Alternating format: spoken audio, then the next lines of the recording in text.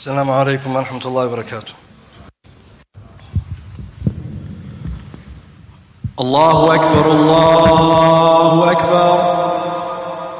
الله أكبر الله أكبر. أشهد أن لا إله إلا الله. أشهد أن لا إله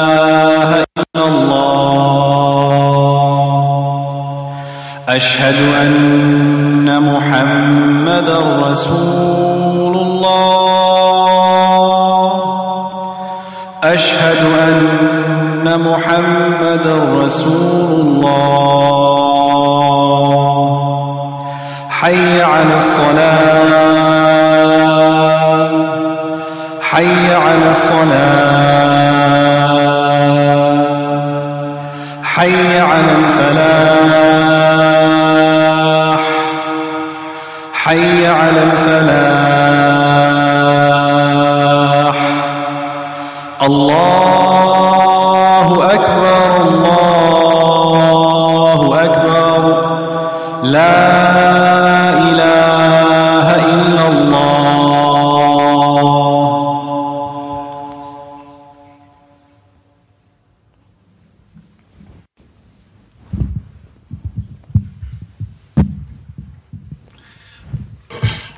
إن الحمد لله نحمده ونستعينه ونستغفره ونعوذ بالله من شرور أنفسنا ومن سيئات أعمالنا.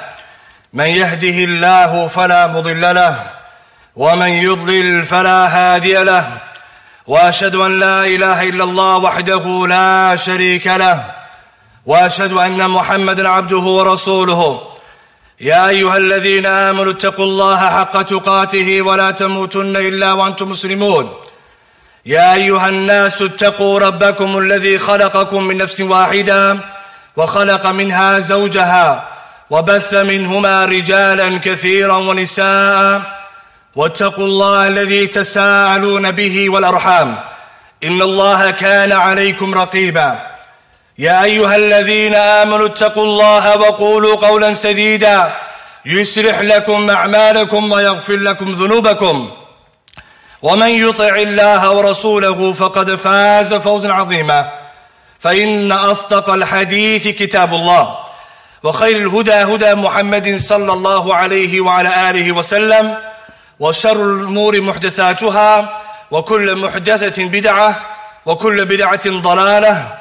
وكل الضلالة في النار أما بعد أيها الناس Allah subhanahu wa ta'ala he says in his noble book شهر رمضان الذي أنزل فيه القرآن هدى للناس وبينات من الهدى والفرقان that the month of Ramadan is the month in which Allah he revealed the Quran a guidance for mankind and a clarification of this guidance this month is the month of the Quran.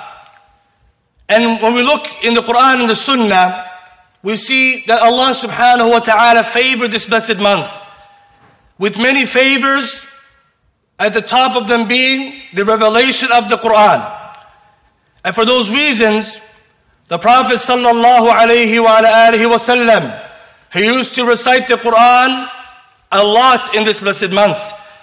عن عبد الله بن عباس رضي الله تعالى عنهما قال كان رسول الله صلى الله عليه وسلم أجود الناس وأجود ما يكون في رمضان حين يلقاه جبريل Ibn Abbas, may Allah be pleased with him, said, The Messenger sallallahu alayhi wasallam was the most generous of people.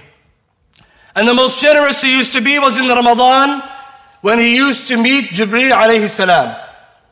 وكان يلقاه جبريل عليه السلام في كل ليلة فيدارسه القرآن Every night he used to meet Jibril alayhi salam. And the Prophet sallallahu alayhi wasallam would be reviewing and reciting the Quran. And then he finished the hadith by saying, وَكَانَ رَسُولُ اللَّهِ صَلَى اللَّهُ عَلَيْهِ وَسَلَّمْ أَجْوَدُ بِالْخَيْرِ مِنْ رِيحٍ مُرْسَلَةٍ That he alayhi salatu wasalam was more generous than the blowing wind. Hadith al-Bukhari. From here, we take a very good benefit, which is that the recitation of the Quran should be increased in this blessed month. But I want to focus on the wording in the hadith, فَيُدَارِسُهُ الْقُرْآنِ What was this dirasa? What was the study of the Prophet sallallahu alaihi wasallam in Ramadan? Before I get there, we have to know that the Quran wasn't revealed just to be recited. When it comes to the Quran, there are many objectives. And if you look, Allah tells us in the Quran how to approach the Quran. Firstly, we should be reciting. وَاتْلُوا مَا أُنزِلَ إِلَيْكَ مِن رَبِّكُمْ Allah says, recite that which we revealed to you from your Lord. That's the first level, recitation. Recite the Quran. And in this month, recitation of the Quran takes prior, priority over all things. Over all things. Number two, the Quran should be understood. It's not just to recite, but to understand. أفلا يتدبرون القرآن ولو كان من غير عند الله لوجدوا فيه اختلافا كثيرا Allah says, don't they ponder and reflect over the Quran? Had it been from other than Allah, they would have found any much contradictions. أَفَلَا يَتَدَبَّرُونَ الْقُرْآنَ أَمْ عَلَىٰ قُلُوبٍ أَقْفَالُهَا Allah says, don't they ponder over the Quran, or is there locks on their hearts? كِتَابٌ أَنزَلْنَاهُ Allah says, the book revealed to you, Mubarak. It's blessed. لِيَدَّبَّرُوا آيَاتِهِ So you can ponder over its verses. That's the second level actually understanding the Quran. And thirdly, acting upon its injunctions. Whatever the Quran tells us to do, we do it. Whatever it prohibits you, stay away from it. Allah says, follow that which we have revealed to you from your Lord.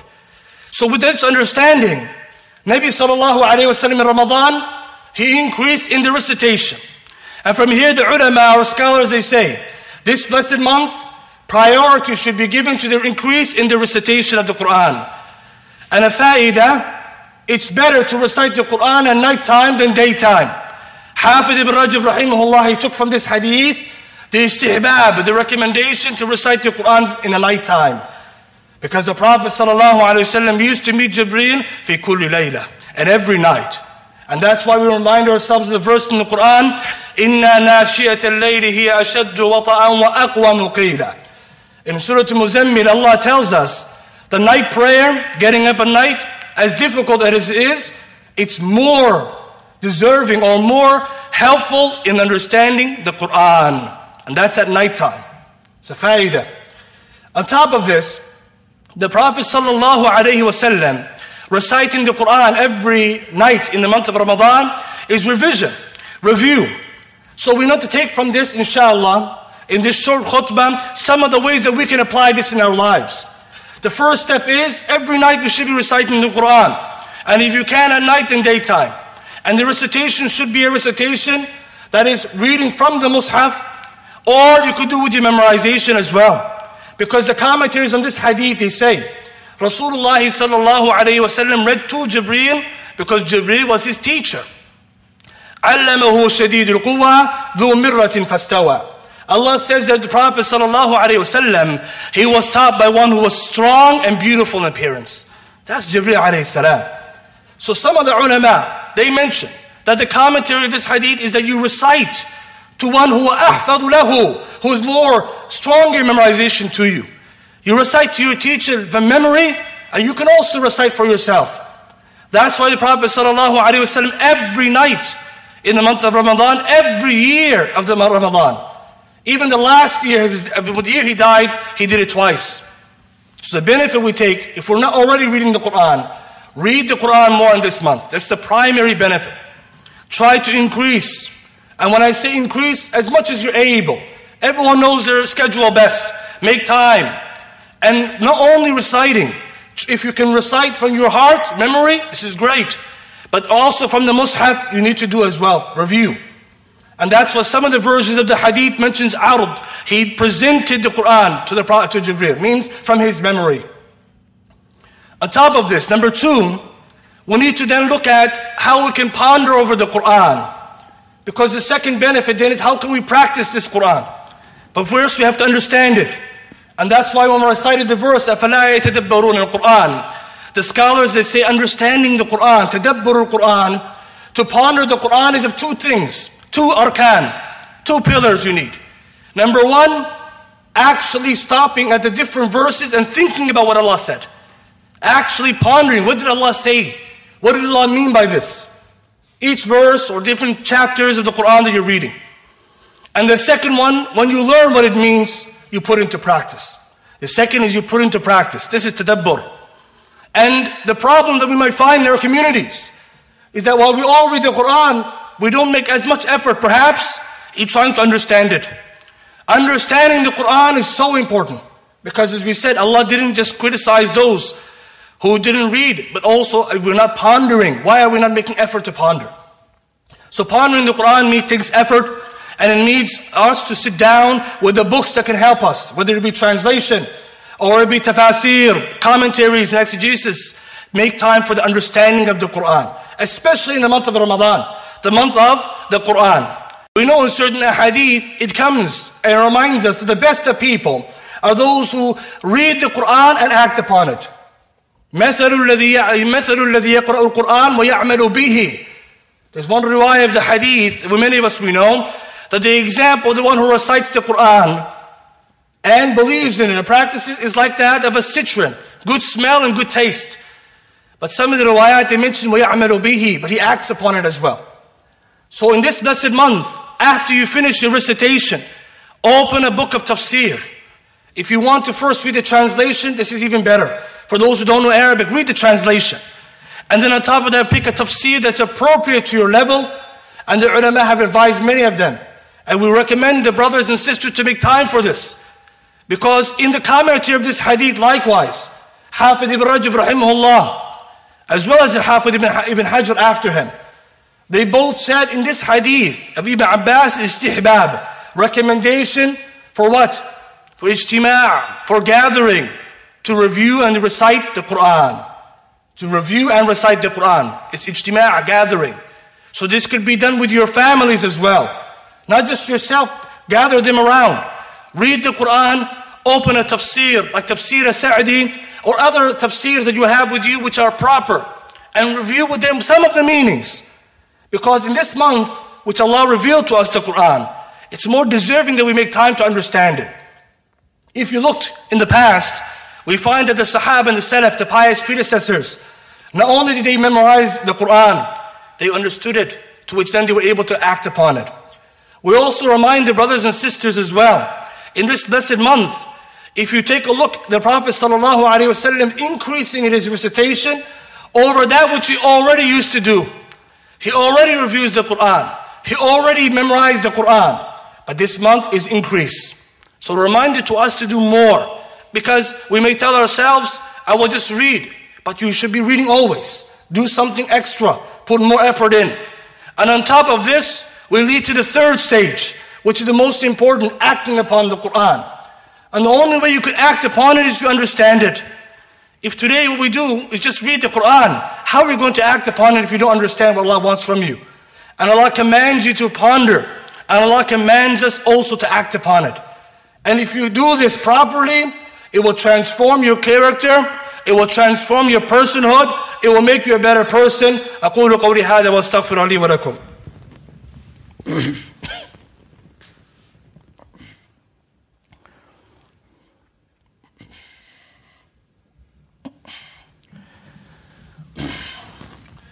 الحمد لله والصلاة والسلام على رسول الله وعلى آله وأصحابه أجمعين. Examples of how to act upon the Quran then are the most important for us. The Prophet sallallahu alaihi wasallam in the blessed month of Ramadan, his character became even more excellent in order it was by way of one characteristic. He increased in the generosity. He was already generous alayhi salatu wasalam. As we know the hadith in Bukhari and Muslim, that the Prophet ﷺ was never asked for something to which he said no. But in this month, he was more generous. So the question now comes, why was he more generous in Ramadan? In the hadith Ibn Abbas radiallahu ta'ala anhuma, there's a connection. Connection between the recitation of the Quran and the actions. The ulama, they, they pondered and they thought about it and they derived the hikmah, the wisdom between the Prophet ﷺ increasing in his generosity and his recitation of the Quran.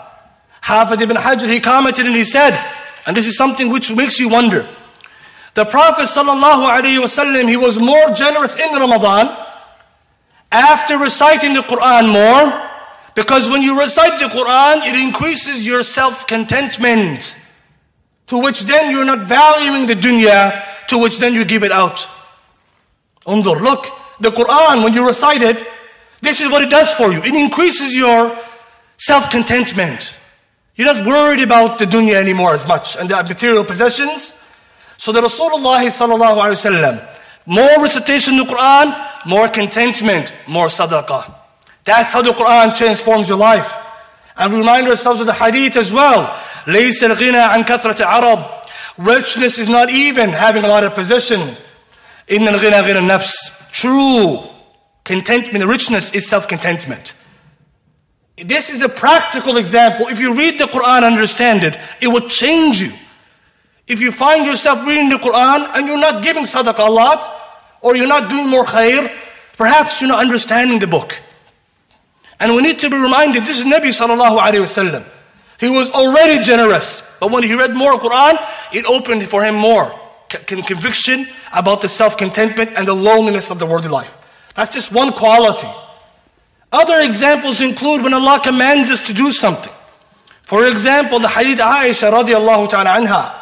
When Allah subhanahu wa ta'ala revealed to the Prophet sallallahu alayhi wa sallam, فَسَبِّحْ بِحَمْدِ رَبِّكَ وَاسْتَغْفِرْ That to, to seek the, to, to glorify your Lord, glorify your Lord subhanahu wa ta'ala and seek His forgiveness.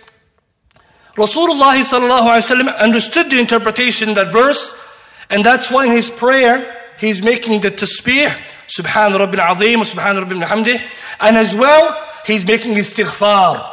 Allah says make istighfar, He makes istighfar. For us, when we look at the Quran, we need to ask ourselves, Allah is telling us what the believer does and doesn't do. He tells us the people in the past, how they were punished. When we read that, we reflect, what qualities did he possess? What did he do wrong? Stay away from it. The Quran should be read in this attitude as well, that we're trying to get guidance from it. But if you look to the Prophet ﷺ and the Sahaba radiallahu anhum, the Quran for them was a guide, literally. They looked to the Quran as how to behave in every situation. And I'll give another example to bring it easier for us. Today, when we read the Quran, we see Allah tells us to be patient. Allah tells us not to be angry. Allah tells us not to, to harm others or oppress. When we read these verses, we may read them and we don't ponder. But when you actually think about it, you act upon it. Example, it comes in a narration from Umar ibn Khattab radiallahu ta'ala anhu that he was interacting with one man who got him upset. And the Sahaba understanding Umar bin Khattab radiallahu ta'ala anhu, Sahib al-Quran, a man of the Quran, when you recite to him the verses, he practices it. That's how the Sahaba said it for. So he understood, Umar became upset at the interaction with this man. So he read to him the verses about patience. And those kadhimin al those who hold back their anger and rage when they're raging and angry. He knows, Umar, if he heard this verse, that's it. He's not going to act upon it. So Umar, he, he calmed down immediately. Because the Sahaba of the Prophet sallallahu alaihi wasallam waqafan an kitabillah. There were people who stopped at the Book of Allah, literally practiced it as it is. These are examples for us to apply. If you read in the Quran and you come across verses about those people who are patient, وَالصَّابِرِينَ فِي الْبَأْسَاءِ وَالضَّرَّاءِ Those who are patient during times of difficulty and ease. Think to yourself, one of those times when you are in hardship or those times when you are in ease, are you patient? Are you a person who has composure? And just practice it. These are the ways that the Quran becomes lively for us. But if you read the Quran as just a simple quota, every day one just that's it, then the Quran will not change you as it's supposed to change you. Because the Prophet ﷺ, due to the increase of the Quran, he increases in the sadaqah just one quality on top of the other khair that he's doing. Ikhwani wa khawat, I want to finish by reminding us as well. Ramadan is also a month for us to transform all of our qualities, whether they be to do with bad habits or to do with the amount of good deeds we do. We mentioned before and we mentioned again, on the night of this month, a caller calls, وَيُنَادِي مُنَادٍ يَا بَاقِيَ الْخَيْرِ أَقْبِلْ وَيَا بَاقِيَ الشَّرْ أَقْصِرْ وَيَا بَاقِيَ الشَّرْ أَقْصِرْ That the caller calls out on this night, i.e. the night of Ramadan, the beginning, so the few days before, that the person who wishes to do good, good, come forward. Also, all you who wish to do evil, hold back. In this month, Allah subhanahu wa ta'ala made it easy for us to break the bad habits by tying the shayateen, but also this caller, calling, encouraging us. I encourage all of us to work harder on our character, to improve our qualities, and to do the khairat and then have the athar, athar, the effects of the khair on your body. Because that's what tadabbur really means. It means that you see the effects of the Quran in your body, in your actions. That when you do things, it's because the Quran and the Sunnah both encourage you. They guide you towards it. In this month, many of us, we hold back from bad language. We hold back from abuse, physically, arguing with people. We hold back from doing all kinds of things. We pray more. We're doing all these other good deeds. But we should ask ourselves, how can we maintain these good deeds? We have to make them second nature. We have to make them second nature. The Rasul sallallahu alayhi wa in Ramadan, he increased above his already, already his generosity that he had. In this month, we should increase and after Ramadan continue. This is the way we have to transform ourselves. And that way Ramadan can be something for all of us. Nabi sallallahu alayhi wa sallam fil hadith, he said, Al-khayru ada. Good should be a good habit. Hadith Ibn Majah and others, hadith Hasan. What does this hadith mean? Good should be the second habit, second habit, or the habit or second nature for a believer. And the way that can come is by continuously doing it. But the only way you can hold a habit is by being convicted that this is something good. So I finish with this to remind us not only just to increase in this month, as you continue the month, think deeply. What is the motivation? How can we draw nearer to Allah? Continue these habits outside just the blessed month. Because it's easier in this month, more difficult afterwards. But the one who is sincere and practices this, Allah subhanahu wa ta'ala allow them to continue to go forward in the khair. I ask Allah subhanahu wa ta'ala to allow us to practice fast this month and stand it with iman and ihtisab. قوموا إلى صلاتكم يرحمكم الله. الله أكبر الله أكبر. أشهد أن لا إله إلا الله. أشهد أن محمدا رسول الله. حي على الصلاة حي على الفلاح. قد قامت الصلاة قد قامت الصلاة. الله أكبر الله أكبر. لا إله إلا الله. استووا. Straighten the lines, everybody with the masks and the mats. Barakallahu fikum.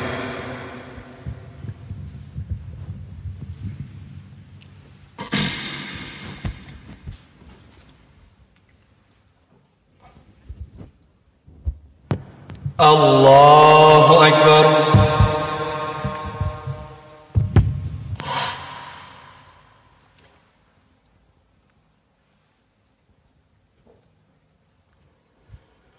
الحمد لله رب العالمين.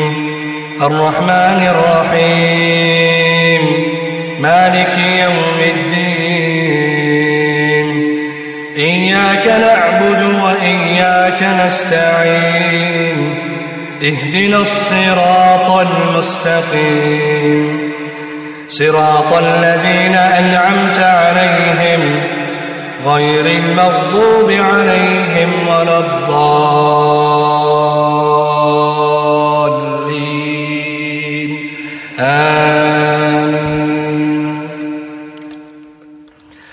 سبح اسم ربك الأعلى الذي خلق فسوى والذي قدر فهدى والذي أخرج المرعى فجعله غثاء أحوى. سنقرئك فلا تنسى إلا ما شاء الله إنه يعلم الجهر وما يخفى. ونيسرك لليسرى فذكر إن نفعت الذكرى. سيذكر من يخشى ويتجنبها الأشقى. الذي يسلى النار الكبرى ثم لا يموت فيها ولا يحيا. قد أفلح من تزكى وذكر اسم ربه فصلى. بل تؤثرون الحياة الدنيا والآخرة خير وأبقى. إن هذا لفي الصحف الأولى صحف إبراهيم وموسى. الله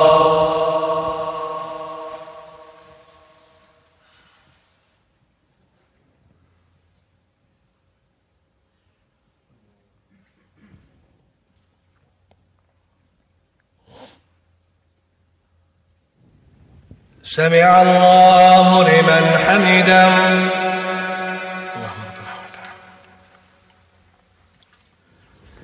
الله أكبر.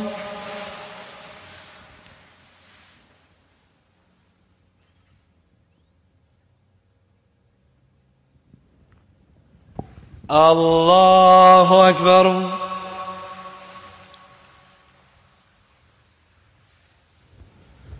الله أكبر.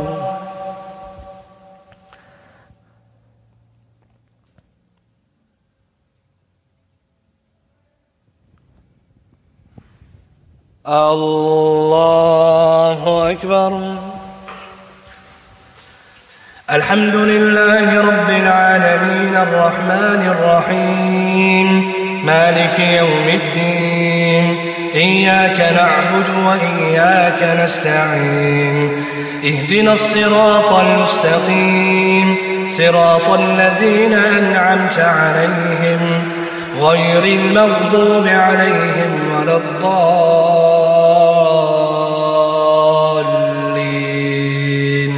آمين. إذا زلزلت الأرض زلزالها وأخرجت الأرض أثقالها وقال الإنسان ما لها يومئذ تحدث أخبارها بأن ربك أوحى لها يومئذ يصدر الناس واشتاتا ليروا أعمالهم فمن يعمل مثقال ذرة خيرا يره ومن يعمل مثقال ذرة شرا يره. الله أكبر.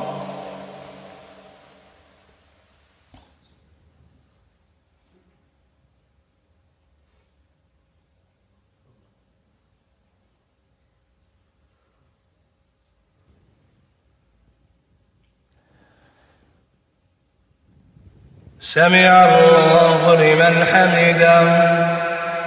اللهم ربنا ولك الحمد الله أكبر.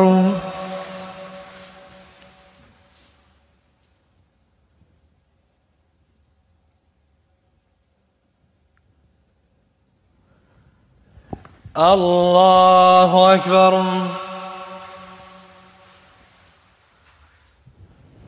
الله أكبر.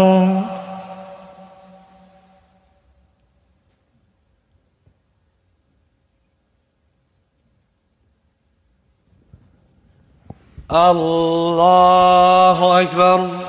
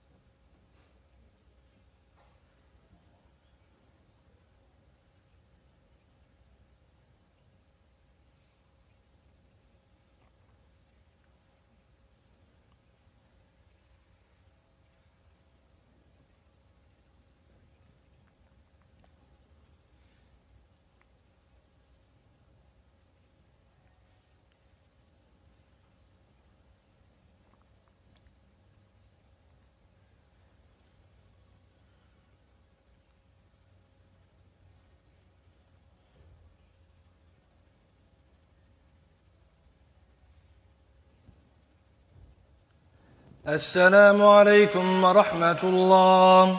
السلام عليكم ورحمة الله.